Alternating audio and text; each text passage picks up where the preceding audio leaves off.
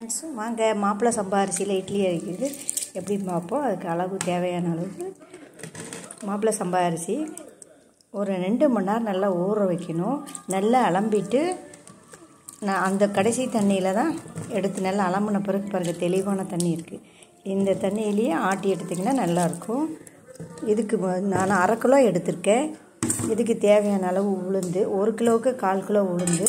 இது நான் அரை கிலோவுக்கு அதுக்கு பாதி அளவுக்கு எடுத்து கால் கிலோவை பாதி எடுத்து வச்சுருக்கேன் நூற்றி இருபத்தஞ்சி கிராம் பக்கமாக இருக்கும். கொஞ்சம் வெந்தயம். இது உளுந்து உளுந்து எப்பயுமே அரை மணி நேரம் தான் ஒன்றா போதும். அதுக்கு மேலே ஊற வச்சிங்கன்னா இட்லி பிடிச்சி நல்லா வராது. இது நல்லா அலம்பி எடுத்து வச்சுட்டு அந்த தெளிவான தண்ணியில் தான் மாவட்டி இருக்கணும் ஃப்ரெண்ட்ஸ் பாருங்கள் மாப்பிள்ளை சம்பாரித்து இட்லி அடித்து வச்சோம்ல காலையில். ஒரு ஏழு மணி நேரம் கழிச்சு பார்த்தா பாருங்கள் நல்லா பொங்கி வந்துடுச்சு இப்போ இட்லி ஊற்றி அவிச்சு எடுத்து வைப்போம்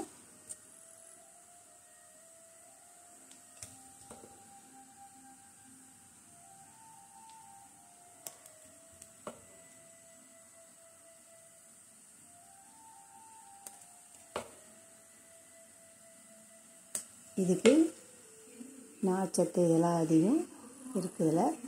சுகர் பேஷண்ட்டு நல்லா சாப்பிடலாம் சாதா இட்லியோட இது சாப்பிட்டா உடம்புக்கு நல்லது.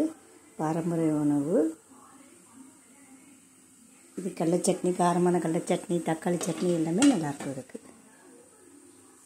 வாங்க மாப்பிள்ளை சம்பாரிச்சுடைய தோசை ரெண்டு வச்சுருக்கேன். பாருங்க இட்லி. நல்லா பாருங்க சாஃப்டாக இருக்குது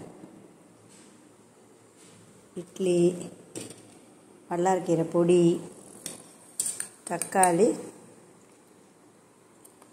தொக்கு நைட் டின்னர்.